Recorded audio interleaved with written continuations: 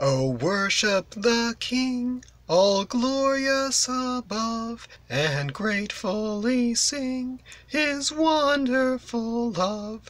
Our shield and defender, the Ancient of Days, Pavilioned in splendour and girded with praise. Thy bountiful care what tongue can recite?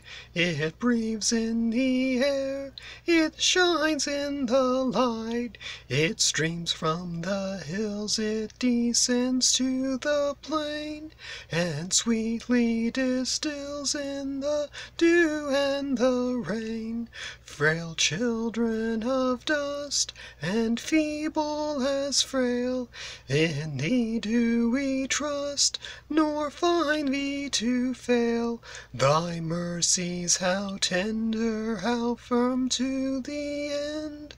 Our Maker, Defender, Redeemer, and Friend.